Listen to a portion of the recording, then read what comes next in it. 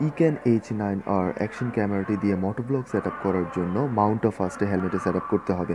And মাউন্টটা set up করার প্রক্রিয়াটাই আমি আপনাদেরকে এখন দেখাবো। এখানে যে বক্সটা দেখতে পাচ্ছেন, এটা হচ্ছে এমসিল গাম বা আঠা। এটা আপনারা পাবেন হচ্ছে হার্ডওয়্যারের দোকানে। আঠাটা দিয়ে আমরা মূল মাউন্টটা হেলমেটের মধ্যে স্থাপন করব। এখন আপনারা যে মাউন্টটা দেখতে পাচ্ছেন, এটার মধ্যেই মেইনলি ক্যামেরাটা মাউন্ট হবে মানে বেইজ মাউন্ট এটা। এটার পেছনেও কিন্তু আঠা আছে, দেখতে পাচ্ছেন, কিন্তু এটা খুবই কম। মানে এটা যথেষ্ট নয়। আর হেলমেটের যে কার্ভি যে সারফেসটা আছে, এখানে এই অতি সামান্য পাতলা আঠা দিয়ে এটা হেলমেটটা মাউন্ট করা সম্ভব না। সেই জন্য আমরা এমসিলটা ইউজ করব। এমসিলের বক্সটা যখন আমরা খুলবো, তখন এখানে দুইটা আলাদা আলাদা প্যাকেট দেখতে পাবো। এই দুটো প্যাকেটে একটাতে পজিটিভ আঠা থাকে এবং একটাতে নেগেটিভ আঠা থাকে। এই পজিটিভ এবং নেগেটিভ দুইটা আঠাকে একসাথে আমাদেরকে মিক্স করতে হবে।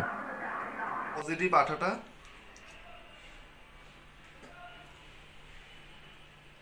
একটা নির্ধারিত অংশ আমরা নিব যতটুকু লাগবে।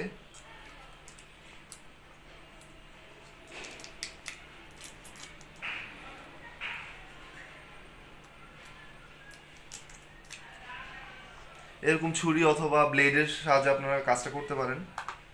তারপরে দুইটা আঠাকে একসাথ করতে হবে।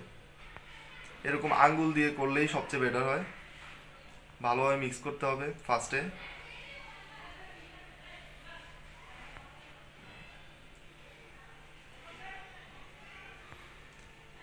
এভাবে ভালোভাবে মিক্স করার পরে তারপরে আমরা হাতে তালুতে রেখে এভাবে করব।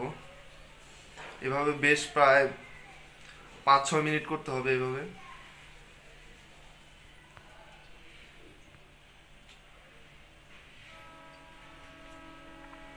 এটার মিক্স আপটা যত ভালোভাবে হবে এটা অত স্ট্রংলি হেলমেটের সাথে এটা ফিক্স হবে প্লাস ইয়ের সাথে।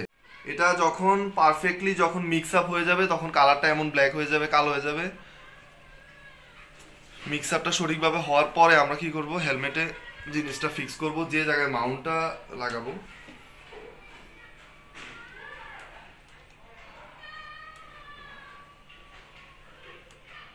খেয়াল রাখতে হবে, এটা লাগানোর সময় যাতে গ্লাসে কোনো ধরনের টাচ না লাগে। তাইলে এই কালারটা কিন্তু, এই গ্লাসের জায়গাটা কিন্তু ঘোলা হয়ে যাবে অথবা কালো হয়ে যেতে পারে।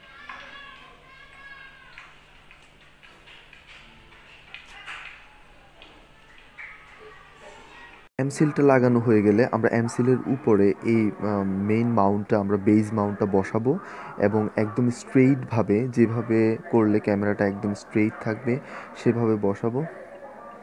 তারপর এমসিলের যে আঠা, আমরা একটু চাপ দিব, হালকা এক আঙ্গুলে ধরে রেখে একটু চাপ প্রয়োগ করব, তখন আঠাটা সঠিকভাবে ছড়াই যাবে ছড়াই যাওয়ার পরে আমরা একটা শলার সাহায্যে অথবা এমন এক সরু কোনো ধাতব পদার্থের সাহায্যে আমরা আঠাটাকে সুন্দরভাবে ফিক্স করে দিব।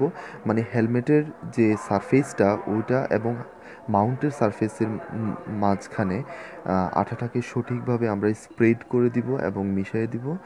আমি আপনাদেরকে আরেকটা কথা বলে রাখি, এই যে আমি এমসিল দিয়ে যেভাবে হেলমেটের মধ্যে মাউন্টটা স্থাপন করতেছি, আপনারা চাইলে আপনাদের বাইকের সামনে উইন্ডশিল্ডের মধ্যে এবং পেছনের ইয়ে পেছনের যেই ইয়েটা আছে, শেডটা আছে, ওটার উপরে রেখেও আপনারা কিন্তু ভিন্ন ভিন্ন অ্যাঙ্গেলে ক্যামেরার শট পেতে পারেন।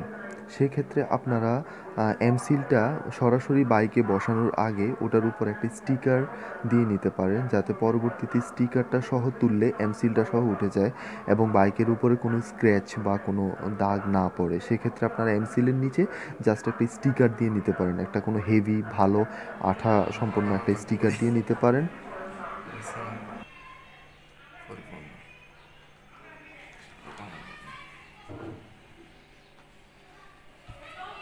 প্রথমবার আমি যে এমসিলটা দিয়ে মাউন্টটা স্থাপন করেছি, তখন কিছু কিছু অংশ ফাঁকা ছিল। এখন আমি আবার কিছু পরিমাণ এমসিল নতুন করে আঠা বানিয়ে পজিটিভ নেগেটিভ একসাথ করে বানিয়ে, আমি ওই যে ফাঁকা স্থানগুলো ছিল, সেগুলো আমি আবার ফিল আপ করে দিচ্ছি।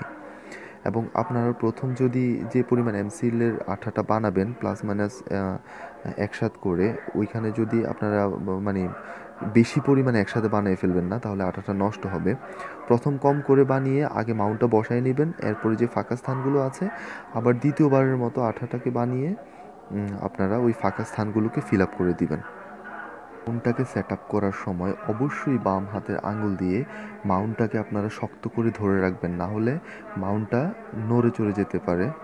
এখন শলা দিয়ে আবার ফাইনাল ফিনিশ দিবেন। একবারে মানে ফাইনালি পুরোপুরি আঠাটাকে একদম হেলমেটের সারফেস এবং মাউন্টের মধ্যে ফিক্স করে দিবেন।